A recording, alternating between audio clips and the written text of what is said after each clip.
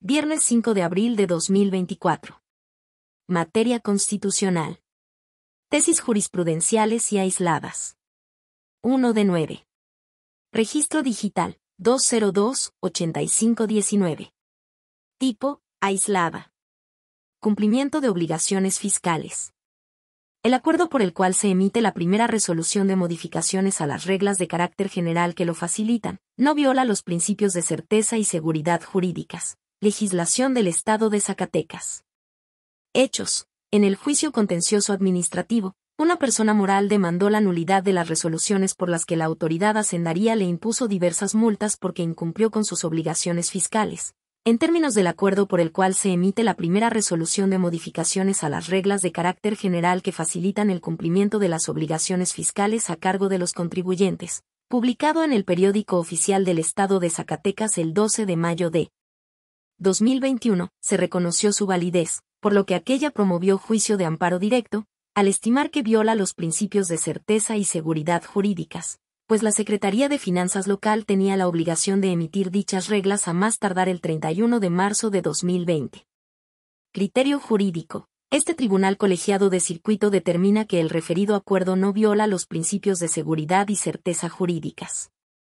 Justificación. Los artículos 101 bis, 101 ter, párrafo primero y 101 quinquies, párrafo primero, del Código Fiscal del Estado de Zacatecas y sus municipios, prevén el deber de presentar el aviso y el dictamen del cumplimiento de las obligaciones de las personas contribuyentes.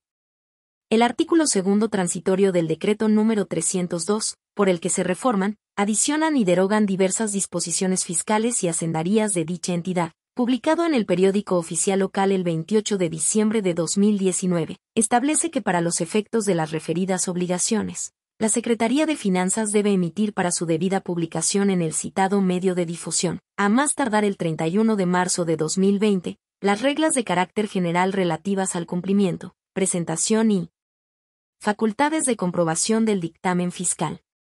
La primera sala de la Suprema Corte de Justicia de la Nación, al resolver el amparo en revisión 416 diagonal 2012, sostuvo que el contenido esencial del principio de seguridad jurídica radica en saber a qué atenerse respecto de la regulación normativa prevista en la ley y de la actuación de la autoridad. En materia tributaria debe destacarse el papel relevante que se concede a la ley como instrumento garantizador de un trato igual de todos frente a las arbitrariedades y abusos de la autoridad, lo que equivale a afirmar, desde un punto de vista positivo, su importancia como vehículo generador de certeza y, desde uno negativo, su papel como mecanismo de defensa frente a las posibles arbitrariedades de los órganos del Estado. Las manifestaciones concretas del principio de seguridad jurídica en materia tributaria se pueden compendiar en la certeza en el derecho y la interdicción de la arbitrariedad o prohibición del exceso. La primera, a su vez, en la estabilidad del ordenamiento normativo, suficiente desarrollo y la certidumbre sobre los remedios jurídicos a disposición del contribuyente, en caso de no cumplir con las previsiones del ordenamiento, y la segunda, principal, más no exclusivamente, a través de los principios de proporcionalidad y jerarquía normativa, por lo que la existencia de un ordenamiento tributario es producto de la juridificación del fenómeno fiscal y su conversión en una realidad normada, la cual constituirá un sistema de seguridad jurídica formal o de seguridad a través del derecho. En ese contexto, el hecho de que la Secretaría de Finanzas emitiera las reglas de carácter general que facilitan el cumplimiento de las obligaciones fiscales hasta el 4 de febrero de 2021, publicadas en dicho medio de difusión el 20 de febrero posterior, no implica que la persona contribuyente esté en estado de incertidumbre jurídica, pues mientras no se expidieran, su cumplimiento no podía ser exigible, ni mucho menos sancionable. Segundo Tribunal Colegiado del vigésimo tercer circuito. 2 de 9. Registro digital 202-8522. Tipo, jurisprudencia. Deducción de pagos a partes relacionadas o a través de acuerdos estructurados que recaigan en regímenes fiscales preferentes. La limitación prevista en la ley del impuesto sobre la renta respeta los principios de seguridad jurídica y legalidad tributaria. Hechos, una persona jurídica, integrante de un grupo multinacional, promovió un juicio de amparo indirecto en contra del artículo 28, fracción 23, de la Ley del Impuesto sobre la Renta, que establece que no serán deducibles los pagos realizados a partes relacionadas o a través de un acuerdo estructurado, cuando los ingresos de su contraparte estén sujetos a regímenes fiscales preferentes. La empresa planteó, entre otras cuestiones, que el contenido de la norma le causa inseguridad jurídica y afecta el principio de legalidad al habilitar al Servicio de Administración Tributaria que emita las reglas para la modulación de la restricción. El juzgado de distrito decretó el sobreseimiento porque consideró que la empresa no demostró ubicarse en los supuestos de la norma. Un tribunal colegiado de circuito revocó el sobreseimiento y remitió el asunto a esta Suprema Corte de Justicia de la Nación. Criterio jurídico. El artículo 28, fracción 23, de la Ley del Impuesto sobre la Renta, al limitar la deducción de pagos a partes relacionadas o a través de acuerdos estructurados que recaigan en regímenes fiscales preferentes. Respeta los principios de seguridad jurídica y legalidad tributaria porque permite a las personas contribuyentes saber a qué atenerse con su contenido normativo y es permisible que los aspectos secundarios del funcionamiento de la norma se contengan en disposiciones de menor jerarquía. Justificación. El precepto reclamado señala con claridad cuando son deducibles los pagos efectuados a partes relacionadas sujetas a regímenes fiscales preferentes, sin que sea indispensable que se definan todas las palabras o conceptos, como lo es, lo que debe entenderse por actividad empresarial, contar con personal y activos necesarios, ya que la lectura integral del precepto permite a las personas contribuyentes saber a qué atenerse con el contenido de la norma. Además, el principio de legalidad tributaria tiene su núcleo en que los elementos esenciales de la contribución se contengan en la ley y permite que elementos secundarios puedan regularse en disposiciones de menor jerarquía, como las reglas de carácter general que expida el Servicio de Administración Tributaria, por lo que el hecho de que en el precepto reclamado se incluya la cláusula habilitante para que tal dependencia expida las reglas para normar aspectos secundarios de la deducción, respeta el principio de legalidad tributaria y no causa inseguridad jurídica que en una disposición reglamentaria se dispongan los pormenores para la operación de la norma. Primera sala. 3 de 9. Registro digital 202-8523. Tipo, jurisprudencia. Deducción de pagos a partes relacionadas o a través de acuerdos estructurados que recaigan en regímenes fiscales preferentes. La limitante en la ley del impuesto sobre la renta respeta el principio de proporcionalidad tributaria. Hechos, una persona jurídica, integrante de un grupo multinacional, presentó demanda de amparo indirecto en contra del artículo 28, fracción 23, de la ley del impuesto sobre la renta, que establece que no serán deducibles los pagos realizados a partes relacionadas o a través de un acuerdo estructurado, cuando los ingresos de su contraparte estén sujetos a regímenes fiscales preferentes. La empresa planteó, entre otras cuestiones, que la limitante a la deducción causa que contribuya a partir de una base irreal o que afecta al principio de proporcionalidad tributaria. El juzgado de distrito decretó el sobreseimiento porque consideró que la empresa no demostró ubicarse en los supuestos de la norma. Un tribunal colegiado de circuito revocó el sobreseimiento y remitió el asunto a esta Suprema Corte de Justicia de la Nación. Criterio jurídico la limitante a la deducción de pagos a partes relacionadas o a través de acuerdos estructurados que recaigan en regímenes fiscales preferentes. Respeta el principio de proporcionalidad tributaria porque permite reconocer la verdadera capacidad de las personas contribuyentes. Justificación. El hecho de que el artículo 28, fracción 23, de la ley del impuesto sobre la renta condicione o limite una deducción al cumplimiento de determinados requisitos tratándose de pagos a partes relacionadas o a través de acuerdos estructurados que recaigan en regímenes fiscales preferentes, encuentra su justificación en evitar prácticas de elusión o evasión fiscal, o bien, de traslado de capitales, beneficios o utilidades a entidades con regímenes fiscales preferentes, que si bien no constituyen paraísos fiscales, si representan una carga fiscal menor a la que se pagaría en México, lo que genera consecuencias de importante magnitud al debilitar la base gravable y propiciar una inadecuada distribución de los gastos públicos, incluso, la inminente consecuencia de una insuficiencia presupuestaria para cubrir las necesidades del país.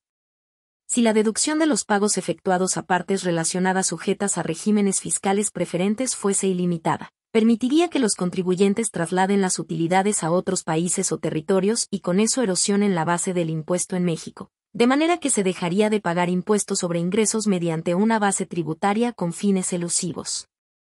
Esto es, si se permitiera deducir los conceptos referidos sin sujetarse a la veracidad y demostración razonable de la operación, daría lugar a que el contribuyente pagara un impuesto sobre la renta de forma irreal al deducir conceptos que no corresponden exactamente a su verdadera capacidad contributiva.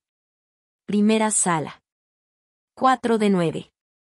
Registro digital 202-8541. Tipo, jurisprudencia.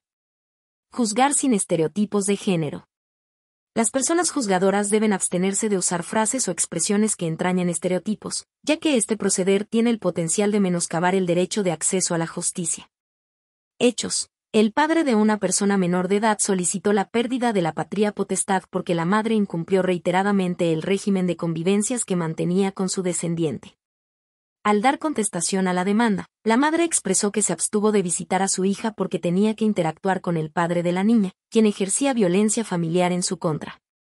El juez familiar concluyó que la señora no podía alegar este tipo de violencia porque nunca estuvo casada ni fue concubina del padre de su hija, de modo que no encuadraba en alguno de los supuestos previstos en el artículo 323 cuater del Código Civil de la Ciudad de México, por lo que, al no haber demostrado una causa justificada para incumplir con el régimen de convivencias, declaró la pérdida de la patria potestad. Esta decisión fue confirmada por la Sala de Apelación, en cuyo estudio utilizó expresiones discriminatorias y estereotípicas al concluir que el verdadero amor de una madre es más fuerte que el temor a cualquier situación que pudiera presentarse. En contra de esta determinación, la madre presentó una demanda de amparo directo en la que reclamó la inconstitucionalidad del referido artículo por considerar que transgredía su derecho a la igualdad y no discriminación, al impedirle alegar que su expareja ejercía este tipo de violencia en su contra. El tribunal colegiado negó el amparo, ya que a su parecer no era creíble que la quejosa tuviera miedo de que su expareja ejerciera violencia en su contra. Esa resolución fue impugnada por la quejosa a través de un recurso de revisión en el que planteó que el órgano colegiado no observó el deber de juzgar con perspectiva de género, ya que su resolución se basó en consideraciones subjetivas que la revictimizaron. Criterio jurídico. El deber de juzgar con perspectiva de género implica, entre otras cuestiones, que las personas juzgadoras deben abstenerse de utilizar frases o expresiones fundadas en prejuicios o estereotipos de género y hacer un constante examen sobre las ideas preconcebidas que pueden encontrarse involucradas en la controversia, ya sea porque forman parte de una creencia individual, están presentes en los hechos del caso o están contempladas en las normas jurídicas. Justificación. La labor jurisdiccional y las decisiones judiciales que de ella emanan deben estar libres de expresiones discriminatorias basadas en estereotipos y prejuicios de género, ya que estas ideas tienen la capacidad de distorsionar las percepciones y dar lugar a resoluciones subjetivas basadas en creencias preconcebidas y mitos sobre cómo deberían ser o cómo deberían comportarse las personas, según su género, creando expectativas que, de no cumplirse, parecen merecer cierto reproche. Legal. Esta situación puede comprometer la imparcialidad y la integridad del sistema de justicia, lo que impacta en el derecho de todas las personas a acceder a la justicia en condiciones de igualdad y sin discriminación, especialmente, de las mujeres, niñas y personas de la diversidad sexogenérica, pues son quienes históricamente han sufrido la discriminación y exclusión derivadas de la construcción cultural de la diferencia sexual. En consecuencia, las personas juzgadoras deben abstenerse de utilizar en sus resoluciones cualquier frase o expresión fundada en algún estereotipo o prejuicio de género que pueda desestimar la situación de violencia que vive una mujer por parte de su expareja y padre de sus hijos o hijas, ya que los órganos jurisdiccionales tienen el deber de erradicar tanto las causas como las consecuencias de la violencia de género, evitando el uso de aquello que motiva la violencia o que se instituye como una forma de justificarla, y que termina por obstaculizar su derecho de acceder a la justicia en condiciones de igualdad. Primera sala. 5 de 9. Registro digital, 202-8545. Tipo, jurisprudencia. Normas que establecen la mecánica de los impuestos no son susceptibles de someterse a un análisis de respeto al principio de presunción de inocencia, pues no están insertas en el ámbito del derecho administrativo sancionador. Hechos. Mediante una reforma a la ley del impuesto al valor agregado que entró en vigor el 1 de enero de 2022, el legislador definió en su artículo 4 o a que debe entenderse por actos o actividades no objeto del impuesto y precisó que tales actividades no son susceptibles de acceder a la mecánica del acreditamiento del impuesto al valor agregado trasladado.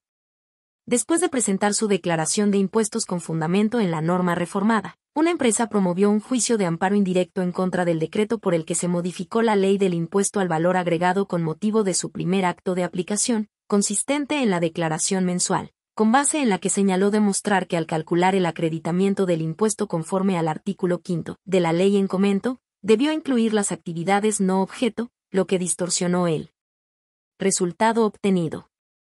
El juzgado de distrito del conocimiento sobreselló en el asunto. La empresa acudió al recurso de revisión y un tribunal colegiado de circuito revocó el sobreseimiento y remitió el caso a esta Suprema Corte de Justicia de la Nación. Criterio jurídico. Las normas en las que el legislador establece la mecánica de los impuestos, así como las modalidades para el acreditamiento del impuesto al valor agregado, no se insertan en el ámbito del derecho administrativo sancionador. Este tipo de normas son emitidas en ejercicio de la potestad tributaria que se manifiesta en el poder del Estado para establecer las contribuciones, por lo que no se sujetan a un análisis de presunción de inocencia. Justificación. La presunción de inocencia es un derecho fundamental, cuyo contenido debe modularse dependiendo del contexto en el que se aplique en tres vertientes. 1. Como regla probatoria. 2. Como regla de trato. 3. Como estándar probatorio o regla de juicio. Sin embargo, carece de aplicabilidad para analizar una norma fiscal que no guarda relación con el derecho sancionador. Lo anterior es así porque a partir del principio de separación de poderes establecido en el artículo 49 de la Constitución Política de los Estados Unidos Mexicanos y las facultades otorgadas al legislativo, es claro que cuenta con libertad configurativa del sistema tributario sustantivo y adjetivo acorde con los principios de justicia fiscal contenidos en el artículo 31, fracción 4, constitucional. En tal sentido, el producto normativo es lo que se somete al análisis constitucional y no las razones dadas en su proceso de creación para justificar el cambio normativo de las normas fiscales que establecen aspectos relacionados con la mecánica de los impuestos y no la imposición de sanciones o penas y, por ende, no son susceptibles de análisis bajo el principio de presunción de inocencia. Primera sala. 6 de 9. Registro digital 202-8563. Tipo, aislada. Sentencias de amparo. El artículo 196, párrafo primero, de la ley de la materia, al prever un plazo diferenciado en el amparo directo y en el indirecto para desahogar la vista con el informe de la autoridad responsable respecto de su cumplimiento, no viola el derecho humano a la tutela judicial efectiva en su vertiente de acceso a la justicia. Hechos. Una persona impugnó en el recurso de inconformidad el acuerdo mediante el cual la jueza de distrito estimó que existía imposibilidad para dar cumplimiento a la sentencia del juicio de amparo indirecto, argumentando que había transcurrido el plazo de tres días que prevé el artículo 196, primer párrafo, de la ley de amparo para que desahogara la vista con el informe de la autoridad responsable respecto a dicho cumplimiento, sin que realizara manifestación alguna. La persona recurrente consideró que el referido precepto viola el derecho humano a la tutela judicial efectiva, toda vez que restringe la posibilidad de realizar las manifestaciones relativas en un plazo menor al previsto para el juicio de amparo directo. Criterio jurídico. Este tribunal colegiado de circuito determina que el referido artículo 196, párrafo primero, al prever un plazo de tres días para el amparo indirecto y de diez días para el directo, a fin de que la persona quejosa desahogue la vista con el informe de la autoridad responsable respecto del cumplimiento de la ejecutoria de amparo. No viola el derecho humano a la tutela judicial efectiva en su vertiente de acceso a la justicia.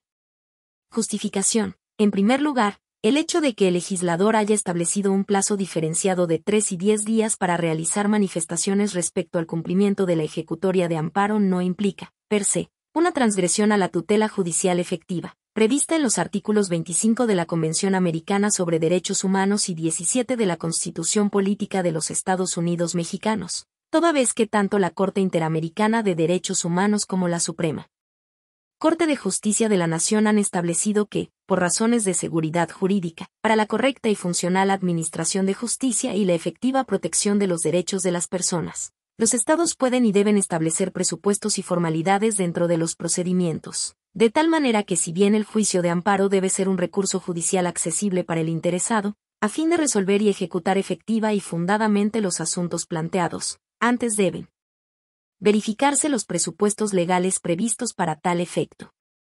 En segundo orden, la definición de un plazo perentorio encuentra justificación constitucional y convencional, ya que permite brindar seguridad jurídica a los justiciables en términos del artículo 16 de la Constitución Federal, que redunda en el principio de saber a qué atenerse sobre la ejecución de una sentencia y, finalmente, en tercer lugar, la definición de un plazo perentorio para realizar manifestaciones respecto a la vista que se concedió a las partes con el informe rendido por la autoridad responsable respecto del cumplimiento del fallo protector, no priva ni impide el derecho a obtener plena ejecución de las sentencias de amparo, pues conforme a los artículos 107, fracción 16, constitucional y 196 de la Ley de Amparo, las personas juzgadoras deben garantizar y verificar la plena ejecución de sus fallos antes de ordenar el archivo de los asuntos.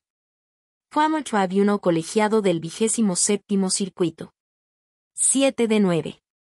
Registro Digital. 202-8564. Tipo, aislada. Sentencias de amparo. El artículo 196, párrafo primero, de la ley de la materia, al prever un plazo diferenciado en el amparo directo y en el indirecto para desahogar la vista con el informe de la autoridad responsable respecto de su cumplimiento, no viola el derecho humano a la igualdad procesal.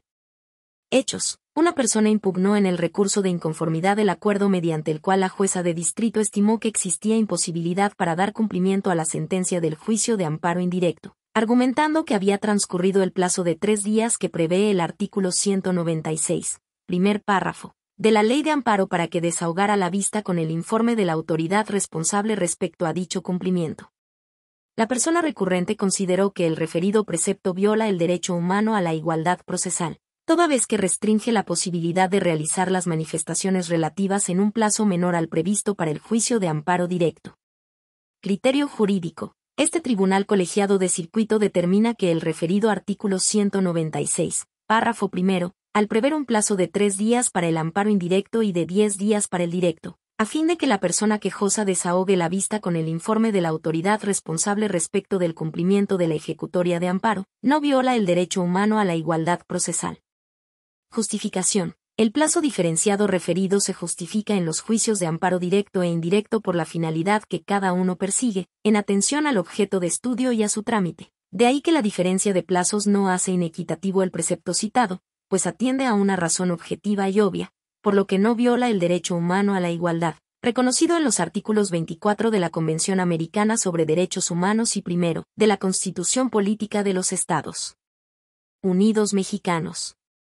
Former Tribunal Colegiado del 27 Circuito. 8 de 9. Registro Digital, 202-8572. Tipo, aislada. Tutela jurisdiccional efectiva. Para garantizar que el amparo indirecto se acorde con ese derecho, cuando la persona quejosa sea tercera extraña a juicio, la juzgadora puede reservar la admisión de la demanda respecto de las autoridades fuera de su jurisdicción, hasta que tenga certeza de su intervención en el proceso de donde derive la falta de emplazamiento. Hechos. La persona quejosa promovió juicio de amparo indirecto en el estado de Veracruz de Ignacio de la Llave contra la falta de emplazamiento a juicio y la orden de lanzamiento, desocupación y entrega de un inmueble de su propiedad, ostentándose como tercera extraña a juicio, razón por la cual sostuvo saber que sería lanzada derivado de un juicio tramitado en la Ciudad de México y, en consecuencia, señaló como autoridades responsables ordenadoras a todos los jueces y actuarios residentes en esa ciudad, además de señalar autoridades responsables ejecutoras en donde presentó su demanda. La persona juzgadora consideró que por economía procesal, tutela efectiva, no limitar la impartición de justicia y mayor beneficio, tendría por autoridades ordenadoras y ejecutoras solo a las de la entidad federativa en que reside, hasta que recibiera sus informes justificados, para comprobar su participación. Criterio jurídico. Este tribunal colegiado de circuito determina que para garantizar que el amparo indirecto sea acorde con el derecho a la tutela jurisdiccional efectiva, cuando la persona quejosa sea tercera extraña a juicio, la juzgadora puede reservar la admisión de la demanda respecto de las autoridades fuera de su jurisdicción hasta que tenga certeza de su intervención en el proceso de donde derive la falta de emplazamiento. Justificación. El derecho a la tutela jurisdiccional efectiva reconocido en los artículos 17 de la Constitución Política de los Estados Unidos Mexicanos, 8 y 25 de la Convención Americana sobre Derechos Humanos, requiere de garantías eficaces de los derechos humanos. En nuestro sistema, el juicio de amparo es una de ellas y, por ello, las reglas que regulan su procedimiento deben interpretarse a la luz del citado derecho humano. Luego, cuando la persona quejosa aduzca ser extraña al procedimiento, dicha aseveración implica el desconocimiento de un proceso en donde se afectó su esfera jurídica al violarse sus derechos humanos de audiencia y al debido proceso. De ahí que resulte lógico que señale a todas las personas juzgadoras residentes en donde se tramitó el juicio. La legislación reglamentaria establece que el juez de amparo debe requerir informes justificados a las autoridades señaladas como responsables. Sin embargo, la existencia de las residentes en otra entidad federativa dilata el tiempo de tramitación del juicio, porque requiere de actuaciones especiales, que no necesitan las autoridades con residencia dentro de la jurisdicción del juez de distrito. Por tanto, si la persona juzgadora advierte que aplicar las normas adjetivas literalmente, trae como consecuencia la dilación del procedimiento en el amparo promovido por una tercera extraña, puede válidamente reservar la admisión de algunas autoridades, condicionándola a la recepción de los informes justificados de las de su residencia, cuando ello conlleve un beneficio en la impartición de justicia como por ejemplo, evitar el envío de múltiples exhortos, si a ningún fin práctico conduciría. Esa actuación. Segundo Tribunal Colegiado en Materia Civil del Séptimo Circuito. 9 de 9. Registro Digital, 202-8573. Tipo, Jurisprudencia. Utilidad fiscal ajustada. La interpretación de la ley del impuesto sobre la renta conforme a los principios de legalidad y seguridad jurídica permite entender ese concepto y la mecánica del cálculo que es utilizado para conocer el límite de la deducción de los intereses aplicables. Hechos. Una empresa inmobiliaria contrató financiamiento por el que paga intereses. En su declaración anual, únicamente pudo deducir de manera parcial los intereses de vengados ya que, a partir del año 2020, el artículo 28, fracción 32, de la ley del impuesto sobre la renta establece que no son deducibles los intereses netos de vengados en cantidad superior a 20 millones de pesos y que cedan 30% de la utilidad fiscal ajustada. Inconforme con lo anterior, la empresa promovió un juicio de amparo indirecto en el que argumentó la inseguridad jurídica que le genera el concepto de utilidad fiscal ajustada, ya que para su cálculo se necesita conocer de manera previa la utilidad fiscal de la empresa que a su vez involucra los montos deducibles por concepto de intereses. El juez de distrito negó el amparo y la empresa interpuso un recurso de revisión que se remitió a esta Suprema Corte de Justicia de la Nación. Criterio jurídico. La interpretación del concepto utilidad fiscal ajustada, establecido en el artículo 28, fracción 32, de la Ley del Impuesto sobre la Renta es conforme con los principios de legalidad y seguridad jurídica reconocidos en la Constitución Política de los Estados Unidos Mexicanos pues comprende la base para determinar el límite de la deducción de los intereses netos. Justificación. El artículo 9, fracción de la Ley del Impuesto sobre la Renta describe el concepto utilidad fiscal al que se le aplica la tasa correspondiente para calcular el impuesto sobre la renta por pagar. Esa utilidad fiscal se obtiene de considerar los ingresos acumulables, menos la participación de los trabajadores en las utilidades de las empresas, PTU, pagada en el ejercicio, menos las deducciones autorizadas. Asimismo, el cuarto párrafo de la fracción 32 del artículo 28 de la Ley del Impuesto sobre la Renta define al concepto de utilidad fiscal ajustada que consiste en la utilidad fiscal calculada conforme al artículo 9, fracción y, más los intereses devengados a cargo del contribuyente, intereses por pagar, más la deducción de activos fijos, cargos diferidos y erogaciones realizadas en periodos preoperativos. Tal concepto se determinará sin importar si se obtuvo ganancia o pérdida en el ejercicio. Así, la utilidad fiscal ajustada se obtiene a partir de dos series de cálculo. La primera parte de los ingresos acumulables, a los que se resta la PTU pagada en el ejercicio, menos las deducciones autorizadas, por lo que a partir de tales restas se obtiene la utilidad fiscal.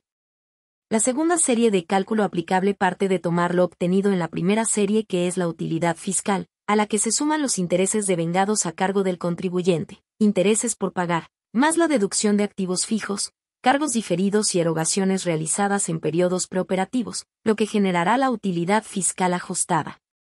En ese sentido, la utilidad fiscal ajustada es un concepto que elimina el efecto de los intereses devengados en el cálculo de la utilidad fiscal, ya que en la determinación de dicha utilidad se desconoce el límite de la deducción de intereses devengados a cargo. Por ello, la utilidad fiscal ajustada será el importe sobre el cual se aplicará el factor del 30% como límite de deducción para los intereses netos del ejercicio de acuerdo con el artículo 28, fracción 32, de la Ley del Impuesto sobre la Renta. Por tanto, no existe incertidumbre respecto de dicho concepto de utilidad fiscal ajustada, ni se viola el principio de legalidad tributaria al no preverse en la norma una mayor explicación sobre su cálculo, toda vez que, de una correcta interpretación de la ley del impuesto sobre la renta, puede advertirse cómo se obtiene tal utilidad fiscal ajustada para los efectos que en la misma legislación se prevén en la norma publicada en el Diario Oficial de la Federación el 9 de diciembre de 2019 y vigente a partir de 2020. Primera sala.